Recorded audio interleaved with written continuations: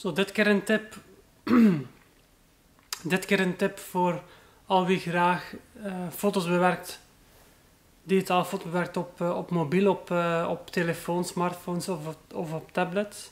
Het is zo dat Lightroom, een programma van Adobe, zeer geliefd bij veel fotografen voor het bewerken van foto's op computer. Het is eigenlijk zo dat je hebt de al bekende Adobe Photoshop daar kun je heel veel mee doen op vlak van uh, belichting, uh, scherpte, filters, maar ook het samenvoegen van lagen van foto's en dergelijke meer. Het, uh, het, het, patchen van foto's, het, het, echt bewerken van foto's.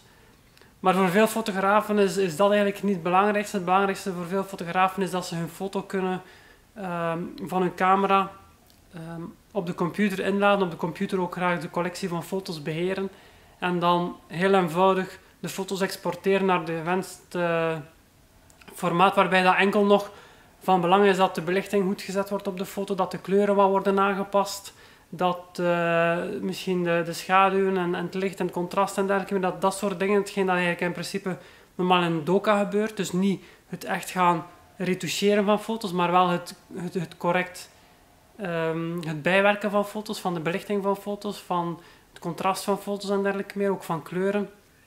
En dat is eigenlijk wat Lightroom doet. Lightroom is uh, heel sterk in het beheren van een collectie van foto's, maar ook heel sterk in het bewerken van foto's in de zin van hetgeen ik zo net opgenoemd heb. Dus niet zozeer werken met lagen dingen weg gaan uh, schelden of wegwerken uit een foto, maar wel de belangrijke dingen als het goed zetten van uh, belichting, contrast, kleuren en dergelijke meer, maar ook scherpte.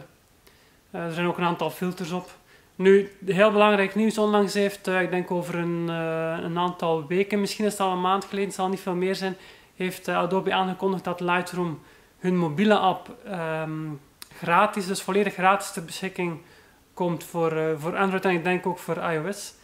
Er was al een gratis app van Adobe, en, Photoshop Express, maar dus zoals gezegd, Photoshop is eigenlijk veel meer dan wat de meeste fotografen nodig hebben. Lightroom daarentegen is echt wat dat... Um, de uh, naar op, waar de meeste fotografen naar op zoek zijn. En je kan die als een licentie kun je die kopen uh, via het Adobe Cloud platform. Kan je daar een licentie op kopen waarbij dat je maandelijks een bepaald bedrag betaalt. En je kan dat wel beperken tot Lightroom, waardoor dat, dat jaarlijks bedrag of maandelijks bedrag relatief uh, weinig is. Maar dus nu kan het op tablet en op Adobe, sorry, op tablet en op Android telefoons uh, volledig gratis gedownload en geïnstalleerd worden. En als ik het hier nu heel snel even open doe om te laten zien. Eigenlijk voor de mensen die Lightroom kennen van op, uh, van op hun uh, computer, het is eigenlijk grotendeels vergelijkbaar. Dus hier het icoontje Lightroom. En dan van zodra je de app opent, heb je eerst en vooral de, uw collecties.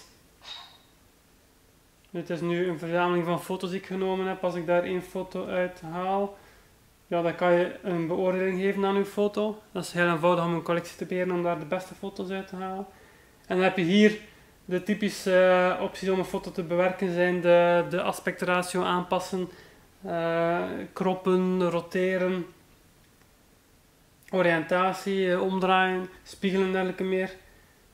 Maar ook hier, de, dus Lightroom werkt met zogenaamde sliders waarbij dat je dus de, bijvoorbeeld laat ons zeggen, de, iets dat gemakkelijk, uh, de belichting, exposure, de volledige belichting, kan ik die naar boven of naar onder gaan wijzigen.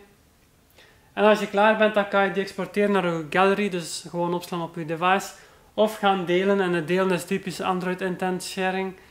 Um, waarbij dat je dan kunt delen naar Twitter, naar uh, Facebook en dergelijke meer. Naar andere apps op je telefoon geïnstalleerd dus. Maar um, even een paar dingen terugdraaien. Dus uh, een zeer interessante app voor mensen die met fotografie bezig zijn. En zoals gezegd, volledig gratis. Er zijn ook uh, filters op. Uh, en dan heb ik hier de filters voor mij. Creative. Dan kan je eigenlijk de, met de manier waarop, op, waarop dat je bij Instagram filters kunt gaan zetten. Deze filters zijn wel iets professioneler in die zin dat het gaat over uh, cross-processing 1, 2, 3 old polar split tone, selenium tone, sepia tone. Dus dingen die in min of meer vroeger ook gebruikt werden of, of uh, bij analoge fotografie ook beschikbaar waren. De kleuren kun je uh, hoog contrast, laag contrast zijn ook filters, koud, warm, zwart-wit filters met veel of weinig contrast. Noise reduction ook. Dus deze filters zijn meer, geschikt, alleen meer gericht op fotografie. Maar zeker iets uh, om te bekijken als, uh, als fotograaf of amateurfotograaf. Als je dan ook nog eens je foto's kunt zinken met je mobiel of je tablet via wifi op je camera of via het iFi-kaart waar ik eerder al filmpjes over uh, gedeeld heb, dan, dan denk ik dat je een zeer interessante oplossing hebt om mobiel te werken. Dankjewel voor jullie aandacht.